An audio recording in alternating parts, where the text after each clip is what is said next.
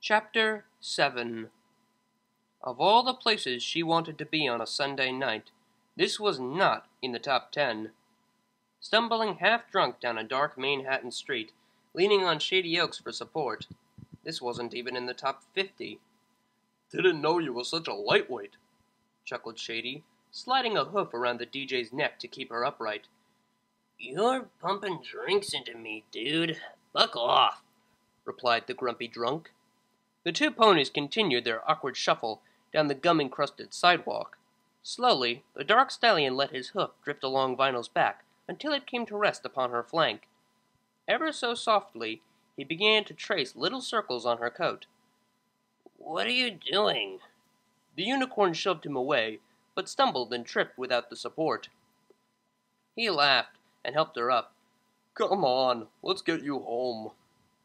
Where are we going again? Back to my place, like you asked. She frowned. I don't remember asking that. Well, you did, dude. Shady put his hoof around her neck and again pulled her forward a few steps. Whoa there, easy. I don't know what you think is happening, but it ain't happening, she said, trying to sound as serious as possible through the haze that clouded her mind. The stallion paused in his attempts to assist her. Are you serious? Uh, yeah. So, all those bits I blew on drinks were for nothing? Vinyl's drunk brain felt absolutely guilty, and she placed a hoof on his shoulder, though that may have been for support as much as sympathy. Sorry, Shades. When you said drinking buddies, I thought you meant, like, an actual buddy. The stallion slumped visibly. You're a damn tease, Vinyl. No, I'm not. He snorted. Hanging off me all night, pretty much grinding up on me in the dance pit, doing tequila shots off my back? Nah, you're a saint. Did I... did I do all that? More or less. Crap. Sorry. I get a little friendly after a few drinks. Whatever. Reckon you can find your way home from here? Uh... She looked around at the tall, black buildings and featureless road. Sure. No worries. Shady shook free of her comforting hoof and started trotting away without another word. Left on her lonesome, the warmth in her veins slowly chilled in the icy night air. As pretty as Manhattan was during the day, it looked downright creepy at night. Sure, there were plenty of street lamps, but they seemed so suffocated and suppressed by the cold blackness that they provided little comfort. Sudden, crackling tendrils of panic curled around her spine. I've changed my mind. Shady! Vinyl turned to look the way her friend had gone, and only saw his tail vanishing around a street corner. Shady! She croaked. A night full of shouting was affecting her voice at the worst possible time. She tried to gallop after him, but only made it a few steps before falling over. The world swam before her. Stop it! I just want to get home!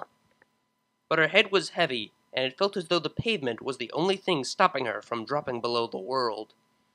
It was not a good feeling, but she had endured worse. Granted, those times she hadn't been lying in the road.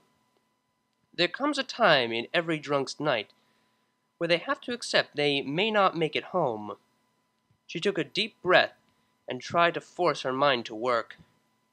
Can't get home on my own. Need help. Some pony who can take care of me. Screwing her eyes shut in concentration, the unicorn hovered her mobile phone out from her pouch. Calling Octavia. As the ringing began, she let the phone rest on the side of her head, releasing it from her magical grasp. Click. Honestly, Vinyl, this is late even by our standards, yawned the angelic voice on the other end. Sorry. Are you okay? You sound a bit hoarse. Yeah, I'm fine. You? What was she calling about again? Aside from being awoken by this call, I'm quite all right. Yeah, you are. You're always all right. Vinyl grinned, scratching her cheek against the ground. Well, I suppose. Are you sure you're okay? Somehow, the DJ could hear Octavia frowning in concern. Hey, I just want to say, cause I'll never say it to your face, you're pretty cool. And I reckon we should chill together more because, yeah, you're awesome. A pause. Oh, sweet Celestia, have you been drinking ever since our phone call on Friday? She ignored the words entirely. Nah, nah, just tonight. But, like, listen to me. I'm being totally open and stuff. I've been having these dreams, right? And they're like of those cut things, like the one on your cutie mark. And sometimes I'll see you in my dreams too, and we'll hang out and go walking together. The Vinyl, interrupted the cellist, sounding more amused than irritated. You should get some sleep.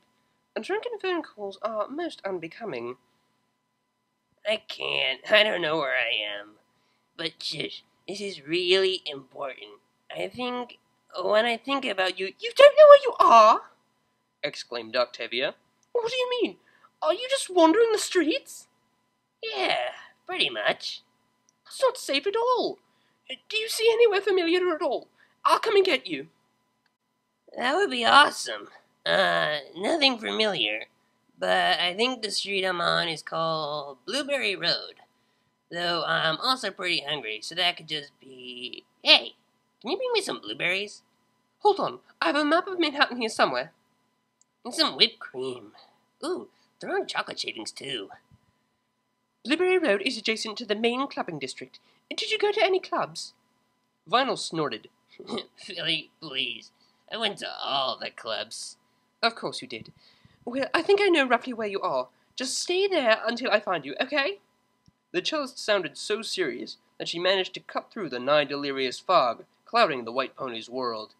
Don't worry, I'm going nowhere fast.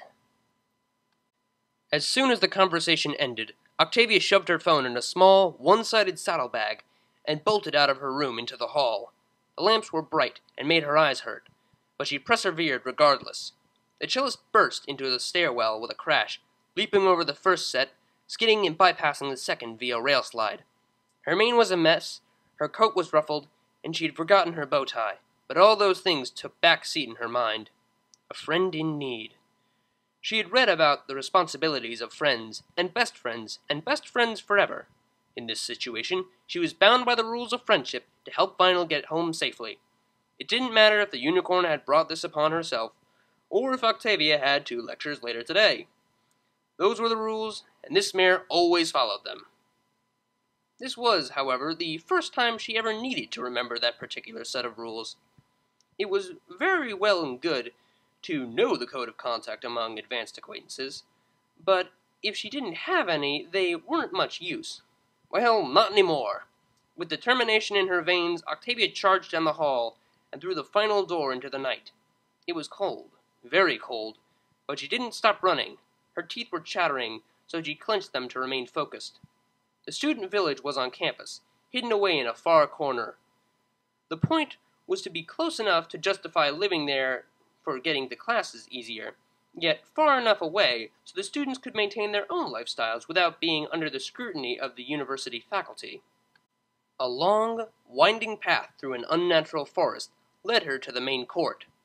For once, the sheer enormity of the place didn't excite her, Rather, she felt exhausted just looking at all the ground she had to cover. Thoughts of a carriage crossed her mind, and she latched onto it hungrily. There was no way she could run all the way downtown. A hired transport was the clear solution. Not only would it save her legs, but the driver would know exactly where Blueberry Road was. It was a great disappointment, then, to see the empty ranks outside the university gates there will usually be a couple carriages eager for your directions and your bits. Now there was a single wet newspaper flapping in the breeze. Running all the way downtown it is, then. She took off at a steady trot, wisely deciding to conserve her energy. After all, she might need to drag a certain unicorn all the way back. There were a few other ponies out this late, and the ones she saw were promptly avoided. A thousand tutor-taught, parent-approved lessons in safety came rushing back. Don't make eye contact if some pony looks unpredictable. Cross the street to avoid them if possible. Remember, it's better to look rude than to get mugged. And for the love of Celestia, Octavia, don't go down any dark alleys. Thankfully, the clubbing district wasn't exactly hidden away. It was entirely possible to reach it using only main roads, no alleys required. A small comfort in a big, cold city. Yet she was grateful for it nonetheless. It was barely fifteen minutes later, and she was panting.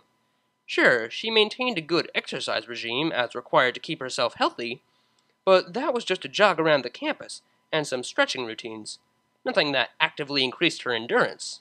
Slowly, but surely, her hooves began to get sore from slapping against the tough and occasionally uneven pavement. Vinyl. The pain that shot through each hoof when it struck the ground changed meaning, becoming incentive to pick that hoof up and push it forward. Each inhalation of crisp night air brought with it more energy, as she narrowed her eyes in conviction. The cellist had a goal, and there was simply no time for physical limitations. Rounding a corner, Octavia spotted the very sign that had eluded her Blueberry Road. Grinning, she forgot all about the ache in her hooves and started down the street with renewed enthusiasm. No wonder she wasn't certain where she was. This looked like every other street. Black silhouettes came into focus further down the road, and her heart jumped into her throat. Her comfy little dorm room was a long way away from here. She slowed her pace, keeping an eye on the group. It was two colts, probably high school kids who had snuck out. They didn't seem very good natured, but it was the thing they crowded around that made her heart speed up.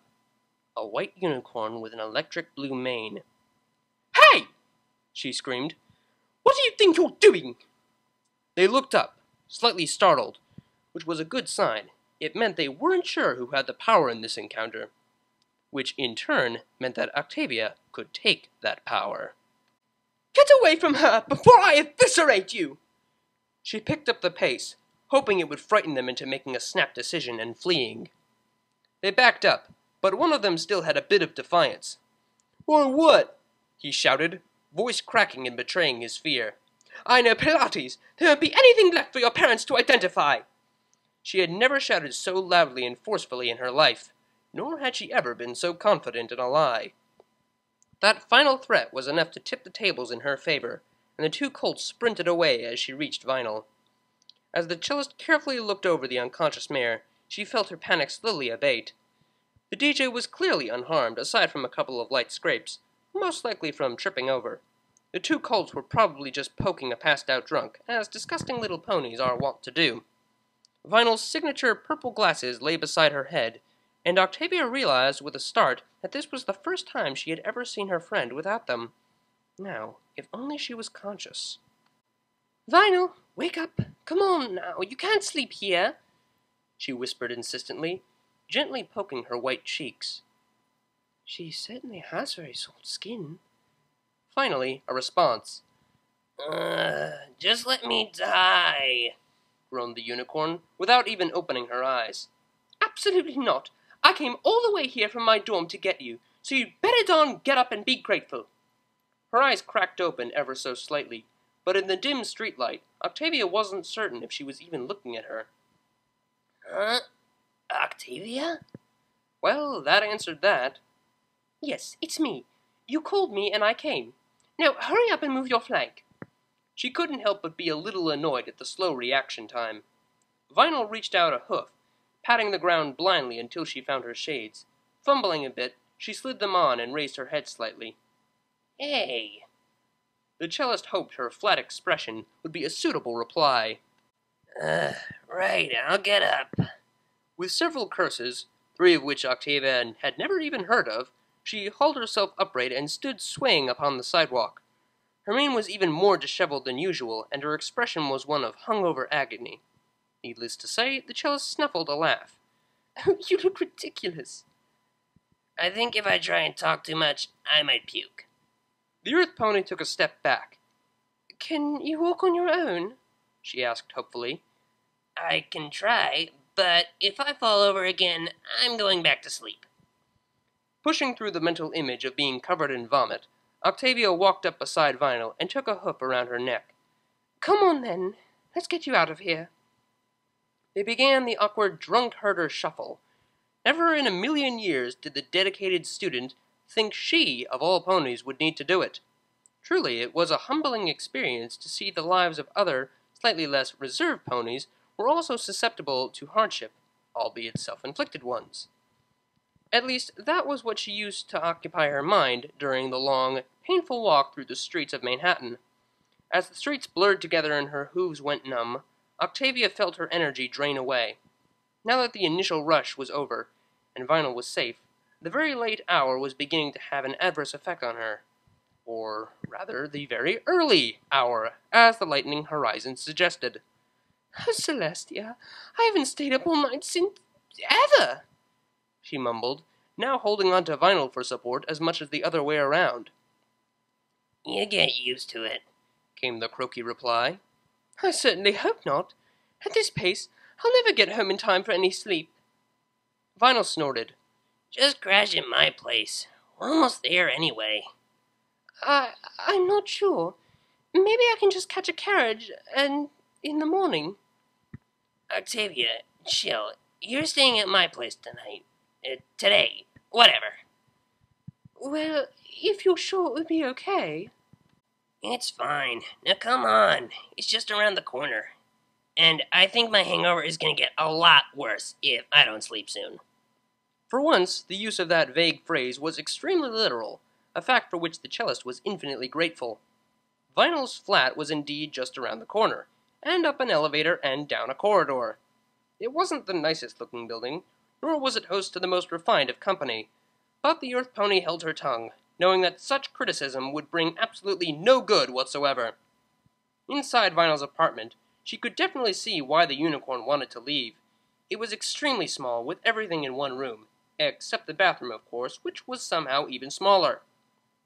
Cardboard boxes packed tightly with belongings took up most of the floor. I don't blame you for not unpacking. I would hate the idea of living here for any length of time. The words slipped out before she could think, and she slapped a hoof over her lips. Luckily, the exhausted mare didn't even seem to hear. She slipped free of Octavia's supporting hoof and stumbled forward, falling onto the bed. Um, where should I sleep? Asked the cellist, feeling very awkward about the obvious answer. As expected, a white hoof patted the mattress lazily. Can you move over a bit? A twitch that almost looked like a shrug passed over the unicorn's body. She was checking out of reality. Next stop, Dreamland.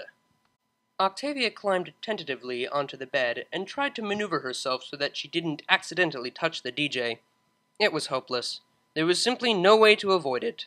Wincing and moving very slowly, she lay down and held her breath as their bellies were pressed together. This is rather nice after being out in the cold. Vinyl was fast asleep, her breathing deep and slow. Every time her chest expanded, it gently pressed against the cellist. Warmth radiated from the blue maned mare, and Octavia caught herself before snuggling closer. Must stay alert. This is my first sleepover. I can't afford to make a fool out of myself. But as her body realized that her actions were finally over and it was time for rest, she found her ability to regulate her movements to be severely lacking. So nice and warm. The cellist pressed her face into the white cloud, smiling at the comforting heat. It was safe there, nice and secure, relaxing and cozy. There was no need to think. Her eyes fluttered shut, and she happily slipped into a doze. As the pair slept, unintentionally entwined, but with complaints from neither side, the sun broke through the early clouds and lit the city in its merry glow.